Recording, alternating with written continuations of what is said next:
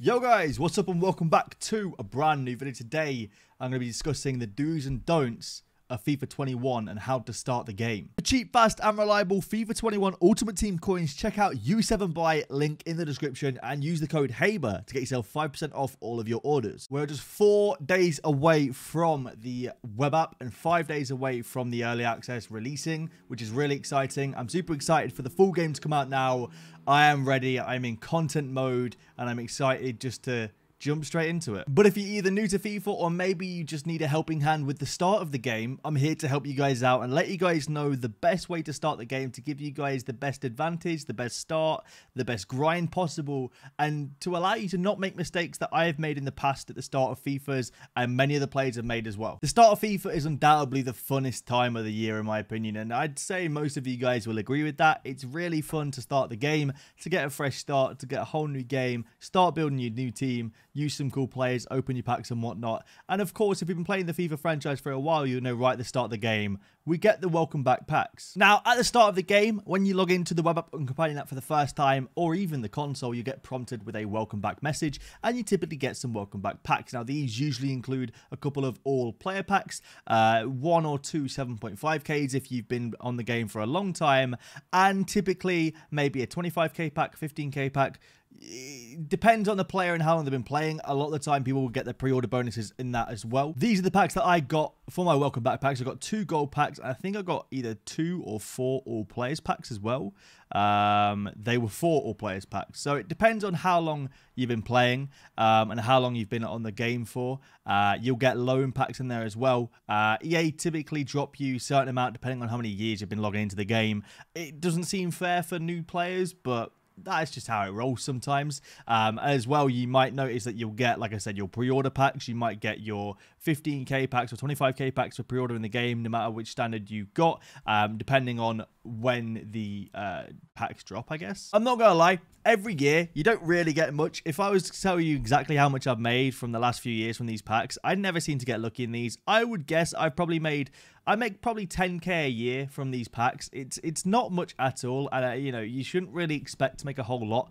What I typically do is I store the non-rare players and sell anyone from a major league. For example, you saw I got Guendouzi. He'll sell for four to 500 coins at the start. Um, anyone from a major league that looks like they can go into a starter squad, I would typically sell, and I keep the rest of the non-res because you can do the let's get started SBCs. You can do the the really easy SBCs for quite literally nothing basically at the start of the game um, with those players that you get from your welcome back pack. So that's typically what I would do. I would hold on to them uh, and I would go and put them into like the Let's Get Started SBC, get yourself a two player pack and some untradeable packs and stuff. Um, I think that, to be honest, like although a lot of people will tell you not to use your um, starter pack players in SBCs and stuff, I don't think using a non-rare from the Uruguayan league that isn't going to sell for diddly in an SBC is necessarily a bad idea. If you're going to do the SBC anyway, you may as well get a head start, start doing it early, start doing it potentially cheaper than when it comes out, um, and use your non-rares in the process. That being said,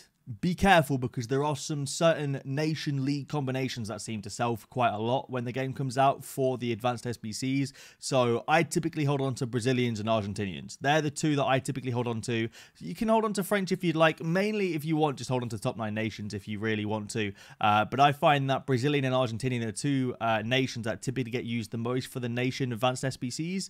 Um, at least in the last couple of years, they're the ones that I've noticed have been used the utmost uh, by anyone. Now let's say on the I don't know, the off chance you seem to get a good pack pull, unless you think that it's a card that's going to be meta, for example, the Ben Yedders, the Rashfords, the Martials, the um, I, I Kantes, the, the meta cards that people are going to desire for the first weekend league hold on to the meta cards. Hold on to the ones you think will rise in price because year after year we see the same correlation where the players that are going to be used for the first weekend league typically rise and rise and rise in price until the first weekend league. Um, whereas higher rated, less desirable but still decent players typically don't rise as much. So if you were to pack, for example, an 85 rated Gini Wijnaldum, I would probably hold on to him for the next week. I think he'll rise in price a good amount. But if you were to pack, for example, an 83 rated card that you didn't think would sell for a whole lot uh, when the game comes out, that would typically drop in value, you may as well sell him early and get those coins to start building a nice foundation of coins for when the full game drops. Now, to give you an example of this, you'll see typically uh, Lucas Digne, an 83 rated left back.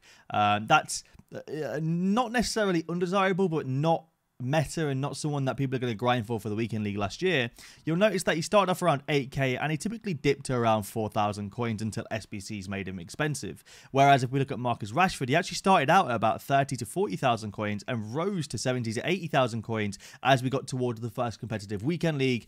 That's the kind of tell. Just make sure you're looking out for players that you think are going to be meta. High pace, high dribbling, high shooting on strikers, uh, high pace on defenders, uh, high pace on, on wing backs, and high pace, high dribbling typically around the midfield as well. Um, you'll find that you know certain players just seem to be overhyped or just incredibly hyped anyway. Um, but yeah, I would notice. Uh, sorry, I would look out for the uh, the noticeable signs of a player and just try and sell the ones that aren't going to rise, like the Lucas Digne's early on, and try and hold on to the ones that are going to rise, like the Marcus Rashfords early on as well. You'll typically make more coins in the long run. Liquid coins is usually the goal with these. I wouldn't really try and hold on to anything unless you get a really lucky snipe on a good player. I would try and just sell, sell, sell. Um, but if you really do pack someone that you you do think is going to rise massively, hold on to it 100%. This tip revolves more around early access rather than just the web app please do not be that guy that leaves your web app sorry not your web app please do not be that guy that leaves your your ea play access open and just leaves it. Please the way that EA Play Access works or early access works is it works on a 10 hour trial basis. And that 10 hour trial starts the moment you load up the game and ends the moment you quit the application. So make sure you quit the application every single time when you're jumping off. And now to go even further, make sure you actually physically back out of Ultimate Team and then quit the application. At least then you can go straight onto the web app and start continuing to do menu content on the web app whilst not necessarily uh, wasting your hours. And you don't have to wait five or 10 minutes for the game to recognize that you're off the game to go onto the web app because usually if you just quit from the menus uh, and you quit the application straight away, you actually can't get on the web app straight away. You have to wait five or 10 minutes. But if you back out of Ultimate Team using B or Circle and you go all the way back to the main menus before quitting the application, you're good to go.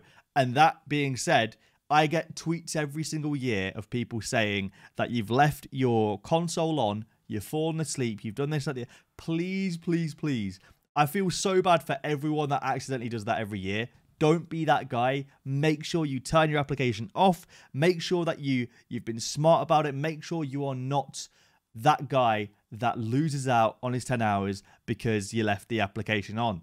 It's so easy to quit the game. On the topic of quitting games, is probably something you really shouldn't do. Now, at the start of FIFA, you'll notice that you'll play against people that are either a lot better than you or a lot worse than you.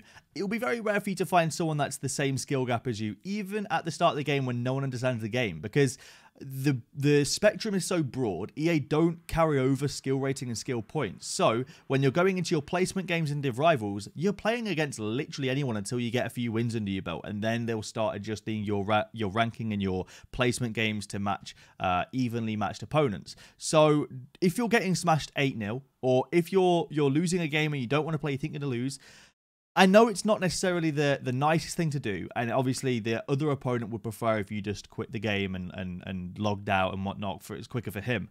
But don't quit and stay in the game. You want to make as many coins as possible, and quitting that game loses out on 500 coins. Now, if you've got a, a coin bonus, that's an extra thousand coins, maybe 1500 coins. I know that doesn't seem like a lot, but it mounts up and it does stack up, and it's not worth losing out on your coin bonus for one game that you can literally see out in the next 10 minutes. It's not going to make a difference to you whether you see it out or not. Uh, you just get to go into another game quicker, and you may even lose that game. So, in my opinion, there's no point quitting games and losing out on your coin bonus and losing out on the extra coins you possibly could get because obviously the most important thing is making coins at the start of the game and playing games is one of those ways to make coins. And now the last thing I'm going to leave you guys with with this guide on how to start Ultimate Team is to leave all your menu content to the web app for the first few days until the full game is out.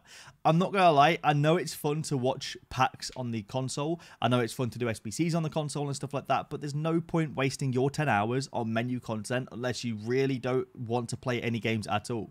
And the reason I say that is because obviously you only have the 10 hour trial and that's going to last you between October the 1st to October the 6th. That's five days, 10 hours. You've got around two hours a day to play the game, realistically. Um, if you're going to uh, grind the game, I would say you've got what, four or five matches, uh, maybe a little bit more uh, a day to play. Um, there's just no time in my opinion to to grind the menus when you have little to no time anyway i would say go on the web app open the packs on the web app do the sbcs on the web app do everything you need to do on the web app because realistically missing out on a couple of animations is not the end of the world, but when you lose your 10 hours, if there's no glitch or you can't afford to buy EA Play again or you can't do the glitch or whatever, you're going to be regret like wasting hours and hours and hours just doing SBCs or dawdling on the menus. You, you want to make sure to keep all your menu content and all your menu stuff on the web app strictly to make sure that you maximize your 10 hours as best as you can. But that's basically it for this video. Hopefully it was helpful to you guys. I'm super excited for FIFA 21. We are so close now.